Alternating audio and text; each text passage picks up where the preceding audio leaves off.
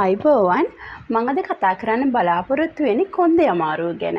කොන්දේ අමාරුව කිව්වොත් අපි ගොඩාක් අය ගොඩක් වේදනාව විඳින හරි අපහසු රෝගයක් හැදුනහම. අපි මේකට කියනවා කටි වායුව කියලා. මොකද ශරීරයේ තියෙන වාපිත් සෙම් කියන තුන්දොස් වලින් වාතය කෝප වීමෙන් ප්‍රධාන වශයෙන් හැදෙන රෝගයක් නිසා වේදනාව වේදනාව ගෙන දෙන රෝගයක් නිසා. කොන්දේ අමාරු හැදෙන විවිධ හේතු බලපාන්න පුළුවන්. ඒ වගේම කොන්දේ අමාරුවක් කිව්වහම නැත්නම් කටේ වායුවක් කිව්වහම එක එක හේතුන් නිසා ඇති වෙන දෙයක් ඇති වෙන්න පුළුවන්. එතකොට මම විශේෂයෙන් අද බලාපොරොත්තු වෙනවා සයිටිකා කියන රෝගය ගැන කතා කරන්න. සයිටිකා කියලා කියන රෝගයට අපි කියන ගුඩ්‍රසී වාත රෝගය කියලා කියලා ආයුර්වේදයේදී. ගුඩ්‍රසී රෝගය. මේ රෝගය අපිට අඳුරගන්න පුළුවන් වෙන් කරලා අනිත් වාත අනිත් කටිවායු රෝගවලින් මෙන්න මේ මෙන්න මේ දේවල් එක්ක අපිට මේ රෝගයේදී විශේෂයෙන්ම කොන්ද විතරක් නෙමේ වේදනාව වෙන්නේ. කොන්දයට පෙළ කෙලවර වේදනාවත් එක්කම තට්ටම් ප්‍රදේශයේ වේදනාව අපිට දැනෙනවා. ඒ වගේම තමයි කකුල පිටිපස්සේ ඉදිරිපසින් නෙමේ පිටිපස බත් කෙන්ද වේදනාව. ඒ වගේම බත් කෙන්දට කලින් කලව ආශ්‍රිත වේදනාව, තද බව, මොනවා හරි දෙයකින් වෙලල වගේ දැනෙන ඒ දැනීම හැඟීම ඒ වගේම කාලයක් යනකොට මේ ප්‍රතිකාර නොකරුවොත් කාලයක් යනකොට මේ කකුලේ පාදයේ ඇඟිලි දක්වා මේ වේදනාව විහිදිලා යනවා. වේදනාව සමගම හිරිය අනින්නක් බදු වේදනාව මොන හරි ඉදිකටු වලින් අනිනවා වගේ වේදනාවක් ඇති වෙන්න පුළුවන්. එතකොට මේ රෝගයට ඇත්තටම ආයුර්වේද ප්‍රතිකාර ඒ වගේම දේශීය ප්‍රතිකාර සුලභව තියෙනවා. නිසි ප්‍රතිකාර ගැනීමෙන් සුව කරගන්න පුළුවන්. මේ රෝගයේදී කාලයක් තිබුණොත් මේ රෝගේ ප්‍රතිකාර නොකර කාලයක් තිබුණොතින් ඇවිදීම් පවා පහසු වෙනවා. අපි ආයුර්වේදෙදි කියනවා ගිජු ලිහිණියෙක් ඇවිදිනවා වගේ ඇවිදින්න කියලා. ඒ කියන්නේ නොණ්ඩි ගගහ ඇවිදින්න හරියට ඇවිදින්න බෑ. ඒ වගේම තමයි කුදුයි. කෙලින් ඇවිද ගන්න අපහසු තරමට වේදනාව වැඩි වෙනවා. මොකද පාදයේත් වේදනාව වෙනවනේ.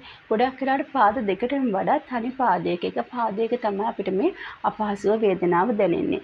කකුල තුනටිය කෙලවර ඉඳන් පාදේ ඇඟිලි තුඩු වලට යනකම්ම අපහසුව වේදනාව තියෙනවා. හරි දරදඩු ගතියක් මාංශ පේශී වල තියෙනවා.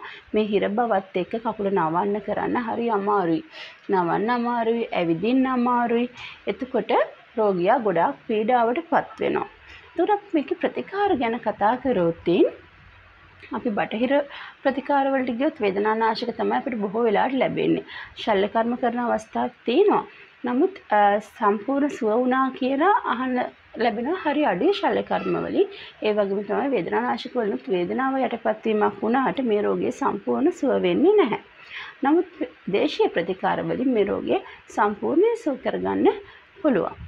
මේ රෝගේ ඇතිවෙන හේතු ගැන බැලුවොත් මේ රෝගී අපිට ඇති වෙන්න පුළුවන් වැටීමකදී ඒ කියන්නේ ආඝාතයකදී කොඳුරට පෙළ ආශ්‍රිතව ඇති වෙන තැල්මකදී ඒ වගේම තමයි වැඩිපුර බර උසුලන අයට බර එසවීම නිසා එතකොට අස්තිවල දි รา පත් වීම එතකොට මේ තුනට සුසුම්නාව ආශ්‍රිතව ඇතිවෙන වෘණ තුවාල ෂෝත් ඉදිමුම් වගේ අවස්ථාවල් ෂේරෝ කශේරුක ආශ්‍රිතව ඇතිවෙන ෂේ රෝගේ මේ වගේ රෝගත් මේ රෝගයට හේතු වෙන්න පුළුවන්. මේ වගේ හේතු නිසා මේ රෝගේ ඇති වෙන්න පුළුවන්. කශේරුක අන්තර බිම්බය පිටපසට නෙරා යාම නිසා අපේ ශරීරයේ තියෙන විශාලතම වාතනාඩිය තමයි මේ ගුඩ්‍රසී වාතනාඩිය මේ වාතනාඩිය තෙරපීමෙන් අපිට වේදනාව ඇති වෙනවා. ඒතර අපේ ප්‍රතිකාරවලදී අපි කරන්නේ මේ තෙරපුම ඉවත් කරන එක. ඒ කියන්නේ රෝගයේ හේතුව අයින් කරන එක. මේ තෙරම තෙරපුමට බෙහෙත් කරලා ඒ අවස් ඒ අවස් ස්ථානයේ තෙරපීමෙන් කාලයක් තිබිලා ඇතිලා තියෙන ස්නායුවල දුර්වලකම පේශීන්ගේ දුර්වලකම ඉවත් කරන්න පුළුවන්. ඒ වගේම අපි පාදයේ ගත්තොත් පාදයේ මේ කලව ප්‍රදේශයේ බත් කෙන්ද ප්‍රදේශයේ දරදඩු බවක් තියෙනවා මාංශ පේශී හරියට හදයි අල්ලන්න බෑ වේදනාවයි දේශීය ප්‍රතිකාර වලින් මේවා ඇතින මේ හිර බව නැති කරලා බුරුල් වෙන පටක බුරුල් වෙන ප්‍රතිකාර කරලා පත්තු බැඳලා ඒ දේවල් සමනය කරලා හොඳ රුධිර සැපයුමක් පාදයට ලබා දීලා වේදනාව අඩු කරන්න පුළුවන්. ඒ නිසා නිසි ප්‍රතිකාර වලට යොමු වීම තුලින් මේ රෝගය සුව කරගන්න පහසු වෙනවා. ගෙදරදී අපිට කරන්න පුළුවන් ප්‍රතිකාර ගැන කතා කරොත් මේ රෝගය අනිවාර්යෙන් වෛද්‍ය ප්‍රතිකාර ලබා ගත යුතු රෝගයක්. නමුත් වෙනත් හේතුවක් නිසා අපි හිතමු බරක් එසවීම එහෙම නැත්නම් වෙන වැටීමක් තැල්මක් වගේ හේතුවක් නිසා අපිට ඇති වෙන කොන්දේ අමාරුවක්. ඒ වගේම මේ තරම් දුරට ගියේ නැති අවස්ථාවකදී අපිට විවේකී අවශ්‍යයි. බර එසවීම හොඳ නැහැ. ඒ වගේම තමයි අපිට අපි ඇඳේ මෙට්‍රස් වල නිදා ගන්න හොඳ නැහැ. ලෑලි වගේ තද පෘෂ්ඨයක තමයි අපි නිදා ගන්න ඕනේ. එක්ක ලෑල්ලක එහෙම නැත්නම් අපි බිම නිදා ගන්නවා නම් බෙඩ්ෂීට් දෙක තුනක් දාලා අපිට බිම නිදා ගන්න පුළුවන්.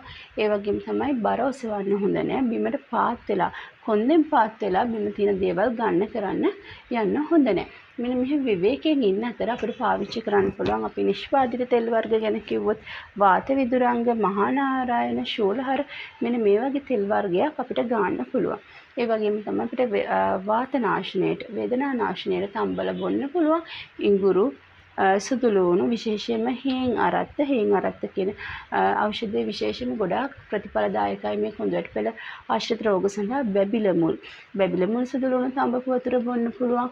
හේන් අරත්තල තඹපු වතුර බොන්න පුළුවන්. එතකොට අපිට මේකෙදි අපි කෑම නොක නොගත යුතු ආහාර තියෙනවා. වාත කෝප කරන ආහාර. කොස් වම්බටු මෑ කරල් මුං ඇට මෙන්න මේ වගේ ආහාර අපි මේ අවස්ථාවේ ගන්න හොඳ නැහැ. මේ වගේ අවස්ථා මේ රෝගේ තියෙන මේ මොන වාත රෝගය වුණත් තියෙන රෝගීන්ට මේ ආහාර ගත්තොත් වේදනාව වැඩි වෙන්න පුළුවන්. ඒ වගේම තමයි සීතල වැදීමත් හොඳ නැහැ. මලබද්ධය දවස ගානේ දවසට එක සැරයක් හෝ ඉතා පහසුවෙන් අපිට මල මුත්‍ර පිට වෙන්න ඕන විශේෂයෙන් මල පිට වෙන්න ඕනේ මුත්‍ර කොහොමද පිට වෙනවනේ මල පිට වෙන්න ඕනේ. මල බද්ධය ඇති වුණොත් අපිට මේ මෙහි වේදනාව ගොඩාක් වැඩි වෙනවා. මොකද තද බල අර්සස් රෝගීන්ට එහෙම මේ රෝගයත් අර්සස් රෝගය නිසා තද බලව තියෙන අර්සස් රෝගය නිසා මේ කුද්‍රසී රෝගය ඇති වෙන්න පුළුවන්. ඒ නිසා අනිවාර්යයෙන්ම මල බද්ධය ඇති නොවි මල පිටවීම අවශ්‍යයි. ඒ නිසා වතුර වැඩිපුර බොන එක කෙඳි සහිත ආහාර ගන්න එක මලබද්ධය තියෙනවා නම් ඒ වළක්වන ප්‍රතිකාර ගන්න ඒ ගැනීම තුළින් අපිට මේ රෝගයේ සහනයක් ලබා ගන්න පුළුවන්. අරවැනි අරවැනි අරවැනි තෙල් ඒ කියන්නේ මහානාරායන වාත විදුරංග ශූලහර වගේ තෙලක් පාවිච්චි කරන අතර අපිට තැවීම සඳහා පොට්ටනියක් පාවිච්චි කරන්න පුළුවන්. නික කොළ, එඬරු කොළ, ආඩතෝඩ කොළ, සුදු ලූණු මේ කොළ වර්ග කොටලා පොට්ටනිය බැඳලා වණ්ඩුවේ තම්බලා අපිට තෙල් ගාලා තැවීමක් කරන්නත් පුළුවන්. මේ සුළු අවස්ථාවකදී නම් අපිට මේ දේවල් වලින් සහනයක් ලබා ගන්න පුළුවන්. නමුත් මේ රෝගය ඇති වෙලා කාලයක් ගිහිලා නම් වරින් වර මතුවෙනවා නම් ප්‍රතිකාර ගත්තාම සනීප වෙනවා. ආයෙත් කාලෙකින් බර වැඩක් කරාම වැඩිපුර දුරක් වාඩි වෙලා ගියාම ආයෙත් එනවනම් වේදනාව වෙනවනම් අනිවාර්යයෙන්ම වෛද්‍ය ප්‍රතිකාර වලට යොමු විය යුතුයි. ස්තුතියි.